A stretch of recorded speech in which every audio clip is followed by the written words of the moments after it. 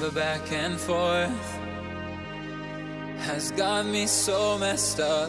Don't ignore the signs we've had enough of the whole damn thing that we got going.